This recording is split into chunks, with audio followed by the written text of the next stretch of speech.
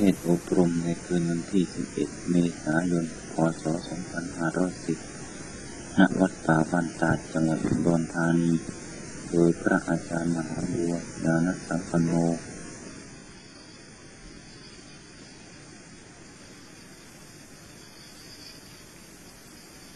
อันนี้จะเริ่มแสดงธรรม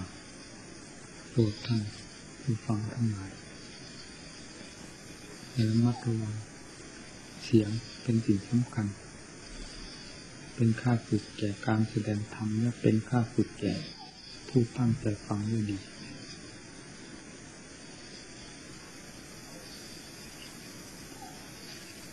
ต่างท่านต่างมุ่งมาเพื่อหวังประโยชน์อย่างยิ่งนั้นผู้สงเคราะห์ในฐานะ ที่ว่าเป็นอาจารย์ก็ ตั้งใจสงเคราะห์เต็มกำลังความสามารถ ทั้งไม่ได้ปิดบังลี้ลับในสิ่งที่ก็สามารถแสดงให้ฟังได้เพื่อให้สมกับเจตนาของท่านที่มีศรัทธาอย่างแรงกล้า สละทุกสิ่งทุกอย่าง แม้ชีวิตจิตใจ ซึ่งเป็นของที่มีคุณค่า ในตัวของเราแต่ละท่านละท่านก็ยอมเสียสละไม่เช่นนั้นจะมา สู่สถานที่นี้เพราะทางก็ไกลแสนไกลมีห้าร้อยกว่ากิโล หน้าที่การงานที่จะต้องจัดต้องทำในวันหนึ่งวันหนึ่งซึ่งได้ปล่อยวางมานี้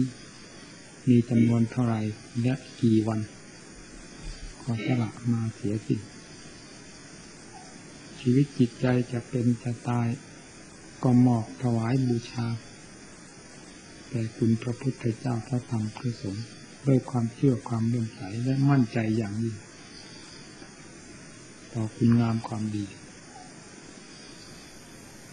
จึงเห็นใจและขอขอบคุณบรรดาทุกทุกท่านที่มีวิสาระทัศรัทธาคือเป็นผู้มีศรัทธาแก่กล้าในพระพุทธศาสนาเมื่อเป็นเช่นนั้นผู้แสดงก็แสดงด้วยความเห็นอกเห็นใจ เจตนาที่มีหวังอย่างแรงกล้าของท่านที่เสียสละทุกสิ่งทุกอย่างมา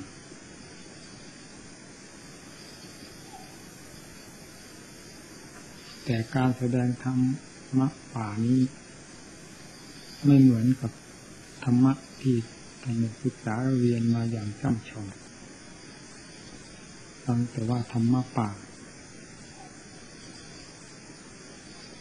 เป็นไปด้วยฝักด้วยหนามเป็นไปด้วยทุกสิ่งทุกอย่างถ้าก้าวไปก้าวมาก็ลำบากการแสดงธรรมในลักษณะแห่งธรรมะป่าก็ย่อมขรุขระเช่นนั้นเหมือนกันสิ่งมีสิ่งใดสิ่งหนึ่งมาเกี่ยวข้องด้วยแล้วก็คอยแต่จะล้มละลายลงได้อย่างง่ายดายเช่นเดียวกับบุคคลที่เข้าป่ารกจับมีอะไรมาาะนิ้วเท้านิดหนึ่งก็ต้องล้ม เพราะสถานที่ไม่ราบดีมีการแสดงธรรมะป่าก็แสดงด้วยความตะเกียบตะกายเช่นนั้น ไม่ได้แสดงด้วยความราบรื่นและเรียบร้อย ทั้งความช่ำชองใดเลยนั้นจึงเน้นมัดระวังในการแสดง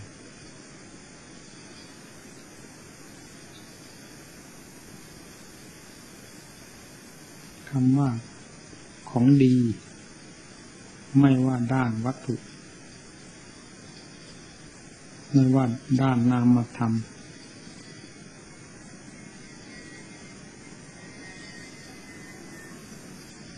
คำว่าของดีไม่ได้ไม่ว่าด้านวัตถุ หรือด้านนามธรรม คือสิ่งที่รู้สึกอยู่ภายในใจ เป็นสิ่งที่ทั่วโลกปรารถนาอย่างยิ่ง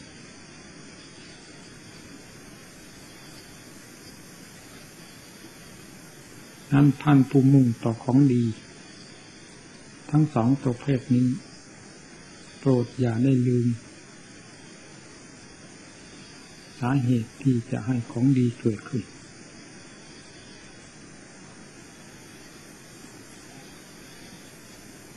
ที่นั่ง ที่นอน ที่อยู่อาศัยดี เราก็รู้สึกสมาใจ เครื่องนุ่งห่มอาหารการรับทานหากเป็นของดี ถูกกับธาตุขันและชีวประสาทมีรสมีชาติการรับทานก็ชวนให้ดื่มให้พอใจที่จะรับทาน และก็รับทานได้มากตามกำลัง ของธาตุขันธ์ที่จะรับได้ถ้าหากเป็นของไม่ดี ก็ยอมอึดอัด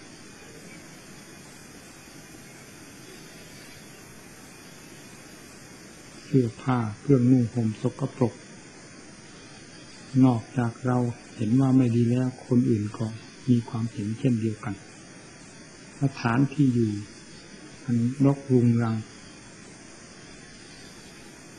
เปื่อนในความสกปรกทรงกลิ่นฟุ้งอยู่ทุกแห่งไปทุกแห่งทุกหนการอยู่หลับนอนก็ไม่สนิทใจ ถึงจะฝืนอยู่ก็ขวางจิตขวางใจอยู่นั่นเองอยู่นั่นแหละไม่เป็นที่สะดวกทั้งกายไม่เป็นที่สบายทั้งใจนี่เราเรียกว่าสถานที่นี่ไม่ดี อาหารไม่ดีก็เหมือนกัน ไม่ว่าประเภทหวานประเภทขาวเป็นเหตุให้ขวางธาตุขันของเราคืนก็ยากแม้จะจำใจกืนลงไปเคี้ยวลงไป แต่ใจก็ต้องฝืนอยู่นั่นแหละเพียงสิ่งที่กล่าวมานี่ไม่ได้หมายถึงความเป็นโทษเป็นภัยอะไรแต่ถือกันว่าเป็นของไม่ดี เราก็ทราบว่าเป็นของไม่ดี สิ่งที่ไม่ดีเพียงเท่านี้ยังต้องฝืนจิตใจของเราให้เป็นไปไม่สะดวก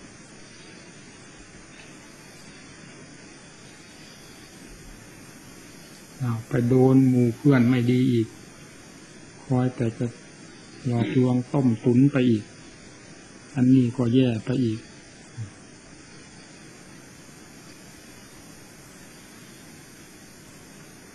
ได้ลูกก็ได้ลูกไม่ดี บอกไม่เชื่อถือ ไม่เชื่อฟัง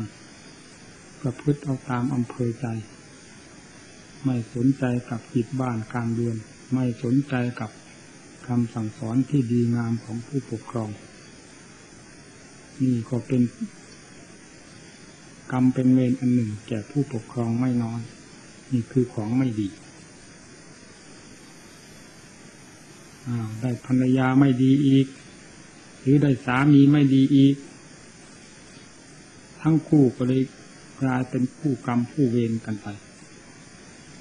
วันหนึ่งวันหนึ่ง คิดแต่เรื่องที่จะทำความแตกร้าวให้แก่กัน ไม่เคยคิดจะมีความสมัครสมานหรือรักใครฝากเป็นฝากตายซึ่งกันและกันจะอยู่ก็ลำบากนั่งก็ลำบากนอนก็ลำบาก ไปทำกิจการงานในบ้านนอกบ้าน ไปที่ไหนมีความลำบาก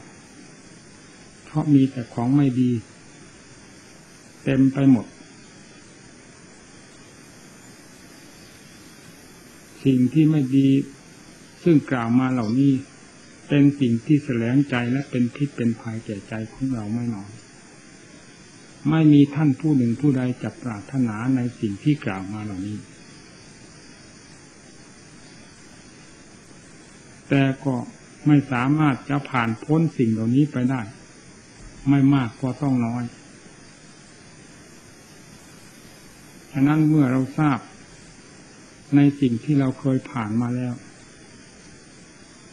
เคยรู้เคยเห็นเคยเป็นมาแล้ว เราก็พยายามปรับปรุง แก้ไขเกี่ยวกับเรื่องอนาคตของเราให้ดี หากว่าจะประสบ เข้าบ้าง ก็อย่าให้รุนแรง การที่จะประสบเข้าบ้างก็เนื่องจากว่าความผิดพลาดของเราย่อมมีด้วยกันทุกคน เพราะเป็นผู้มีกิเลสอาจจะมีเวลามืดเวลาแจ้งอยู่ภายในใจ ทั้งๆทที่เป็นกลางวันก็ตาม แต่ภายในจิตใจนั้นเป็นอีกอย่างจากกลางคืนและกลางวัน มีการ มืดได้แจ้งได้ด้วยความคิดผิดคิดถูกของสามัญชนที่มีกิเลส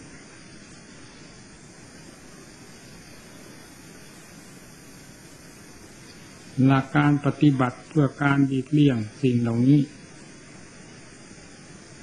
นอกจากจะดำเนินตามหลักธรรมะคำสั่งสอนของพระพุทธเจ้าแล้ว รู้สึก จะ ดำเนินให้เป็นไปเพื่อความสมหวังได้ยากไม่ว่าการหรือสมัยตลอดสถานที่หรือภพชาติใดๆต้องอาศัยหลักธรรมะนี้เป็นเครื่องดำเนิน คือเป็นเครื่องประพฤติปฏิบัติ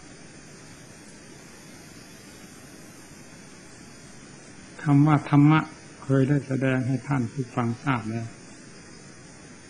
มี ทั้งเหตุมีทั้งผล เหตุคือแนวทางดำเนิน ท่านชี้บอกว่าให้ประพฤติตัวอย่างนั้นอย่างนั้น เป็นการถูกต้องอันนี้เป็นต้น เรียกว่าเป็นทางเดินแห่งความประพฤติของเรา เช่นเขาด้วยไม้เขาต้องมีเส้นบรรทัดดีดไว้ แล้วเรื่อยไปตามเส้นบรรทัดที่ดีดไว้นั้น ก็กรงแนวและสำเร็จเป็นแผ่นกระดานออกมาเป็นแผ่นๆเป็นชิ้นๆ เราจะทำหน้าที่การงานอันใดโปรดเป็นเลงถึงความถูกต้อง ที่จะให้ผลอย่างไรบ้าง และโปรดได้เลงถึงความผิด จะให้โทษแก่เราอย่างไรบ้าง เมื่อได้เอามาทบทวนหรือบวก ลบกันโดยเรียบร้อยแล้ว สิ่งใดที่จะควรแก้ไข ก็ให้แก้ไขแม้จะเป็นความลำบากในการแก้ไขฝืดเคืองก็ตามจำเป็นก็ต้องฝืนแก้ไข ทั้งๆทที่มีความฝืดเคืองอยู่ภายในใจเช่นเดียวกับบุคคลที่เป็นโรค ยาประเภทต่างๆ ที่จะควรรับเพื่อแก้โรคประเภทนั้นๆ จะมีรสชาติไม่พึงปรารถนาจำต้องก็รับ ไม่รับไม่ได้ โรคที่ควรจะฉีดก็ต้องฉีด ถึงจะเจ็บบ้างก็ทน เพราะมองเห็นผลข้างหน้าซึ่งควรจะผ่าตัดก็จำต้องผ่าตัด จะฝืนใจอยู่เฉยๆเพราะ กลัวความเจ็บปวดในการผ่าตัด โดยไม่คำนึงถึงโรคภายในนั้น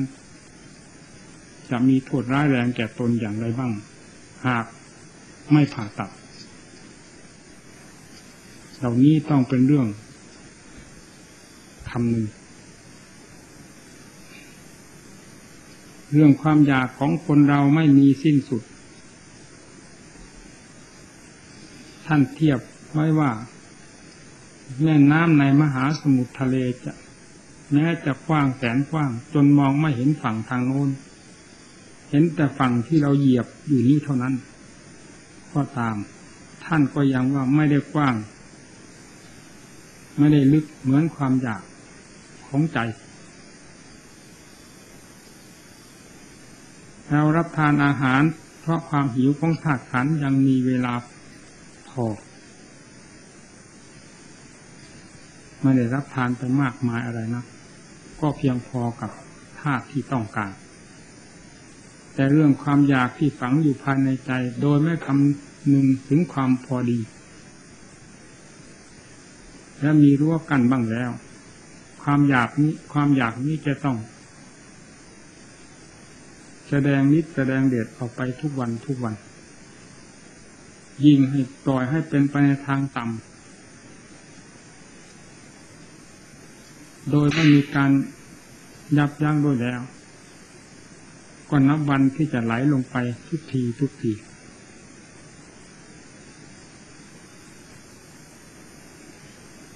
โลกของเราไม่เป็นของไม่เที่ยง แต่ไหนแต่ไรมาข้อนี้ควรคำหนึ่งอย่างสมัยก่อนๆกกับสมัยนี้ผิดกันมาก ความประพฤติของคนอัธยาศัยใจคอ หน้าที่การงาน การไปการมาไม่เหมือนอย่างสมัยทุกวันนี้ ทุกวันนี้รู้สึกว่า สังคมก็มากหมู่เพื่อนก็มาก ผู้คนก็มาก การคบค้าสมาคมกันก็รู้สึกว่ามากขึ้นทุกที นอกจากนั้นยังมีต่างาติต่างภาษาเข้ามาค้าเข้าสับปนกันไปขนบธรรมเนียมประเพณี ของแต่ละประเทศของแต่ละคน ผู้ใดมาจากที่ไหนก็ต้องนำมา เมื่อเขามาคะเข้ากันแล้ว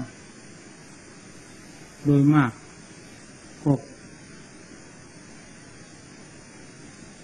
จะทำให้เสีย ถ้าผู้มาเลยใช้ความพิจารณาอยู่บ้าง สิ่งใดที่เราเห็นว่าดีจะมาจากแดนใดก็ตาม เราถือมาเป็นคติตัวอย่างนำมาให้เป็นประโยชน์สำหรับเราและประเทศชาติบ้านเมืองของเรา สิ่งใดที่เห็นว่าจะเป็นภัยแก่ขนบธรรมเนียมประเพณี ตลอดถึงนิสัยใจคอของประเทศชาติบ้านเมืองและตัวของเราแล้วสิ่งนั้นควรจะระมัดระวังอาจจะปล่อยให้เป็นไปตามการตามการตามสมัยนั้น หรือตามความสังคมตามความนิยมของสังคมนั้น เราควรจะพิจารณาอีกทีหนึ่งว่า สังคมนี้เป็นสังคมอย่างไรบ้าง หากไม่พิจารณาอย่างนั้นก่อนแล้ว จะเผลอตัวจะเสียไป คนทั้งคนซึ่งเป็นของมีคุณค่าจะกลายเป็นของหาราคาไม่ได้คือเฟ้อไปหมดเฟ้อไปทั้งหญิงทั้งชาย ใครมีลูกมีหลานมากเท่าไรยิ่งตกอยู่ในวัยหนุ่มวัยสาวก็ยิ่งเป็นภัยมากเดือดร้อนทั้งกลางวันกลางคืนแม้เช่นนั้นมันก็ยัง ผ่านไปต่อหน้าต่อตาของเราเรื่องความเสียหายดังที่กล่าวนี้นี่เป็นสิ่งที่พวกเราทั้งหลายซึ่งอยู่ในวัยหนุ่มจะต้องพิจารณากันอย่างมาก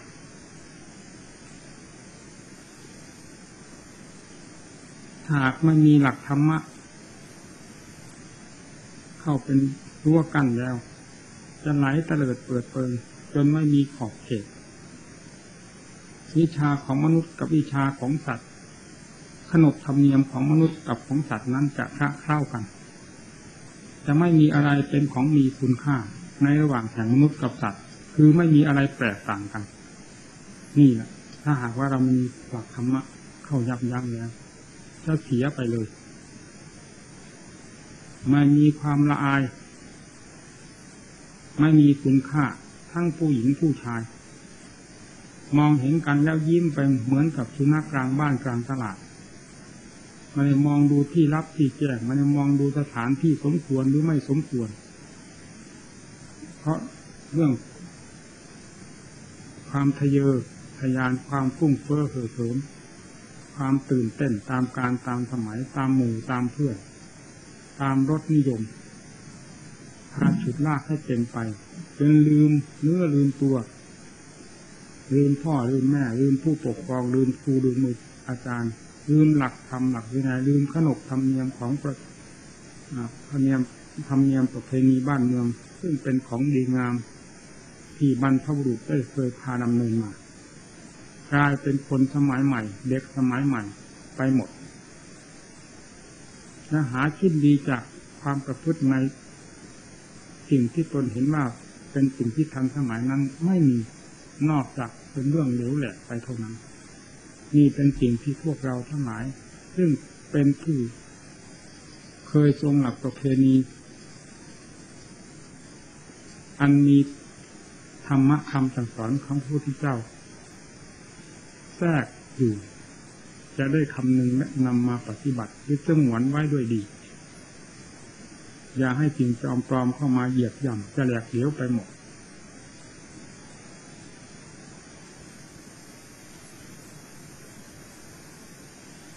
ส่วนที่เราได้จากผู้แฝงมาจากที่ต่างๆ ซึ่งเป็นแดนไกลๆนั้น ก็คือเงิน การเงินการงานรู้สึกว่าเจริญรุ่งเรืองใครอยู่ที่ไหน คิดหาเงินหาทองรู้สึกว่าได้อย่างรวดเร็วทันใจไม่เหมือนแต่ก่อนจะคิดทางไหนเอาทางไหนก็ได้หน้าที่การงานมีเยอะ แต่เรื่องของใจซึ่งเป็นของมีคุณค่ายิ่งกว่าทรัพย์นี้นั้น ค่อยเสียไปทุกวันทุกวัน เราอยากจะทราบก็เดินไปตามสถานที่ต่างๆ ซึ่งเป็นที่ทุกชุมชน ของพวกที่จรๆเข้ามาอยู่ในเมืองไทยเรานี้ เราจะเห็นได้ชัดนี่แหละสิ่งที่เสียไปคือสิ่งที่มีคุณค่ามากได้แก่ใจ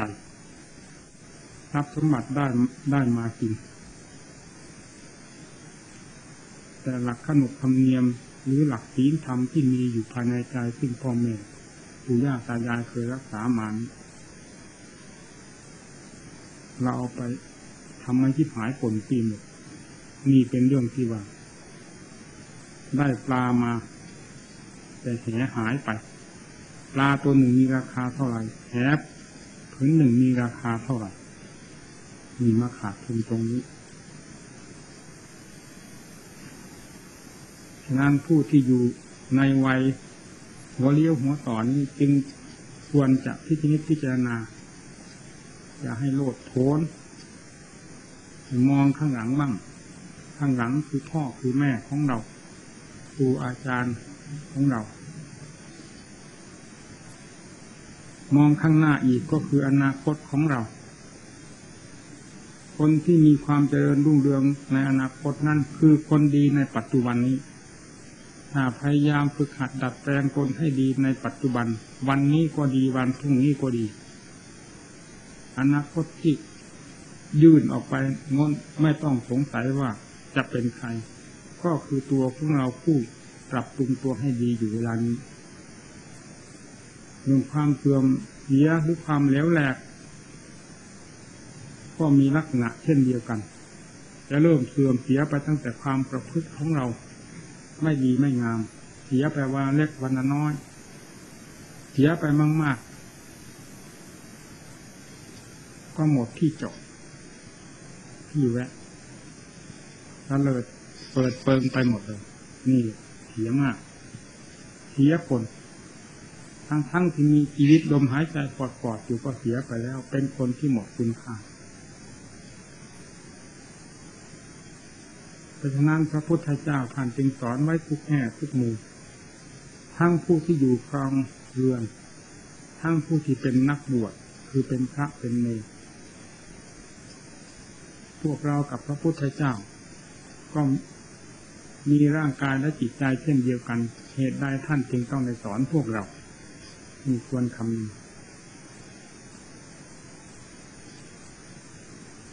การทำมาหาเลี้ยงชีพพระพุทธเจ้าก็ต้องสอน หน้าที่การงานอันใดที่จะเป็นประโยชน์ไม่กระทบกระเทือนแก่ตนและบุคคลผู้อื่น พระพุทธเจ้าก็สอน สมบัติที่ได้มาจากหน้าที่การงาน พระพุทธเจ้าก็สอนต้องเก็บหอมรอมริบไม่เป็นคนสุรุ่สุรุ่สุราชเห็นแก่การจับจ่ายค่าเรียบสอนหมด การเลี้ยงชีพในวันหนึ่งวันหนึ่งจ่ายไปมากไปน้อยพอดีกับคนในครัวเรือนหรือพอดีกับตัวแค่ไหนมั่ง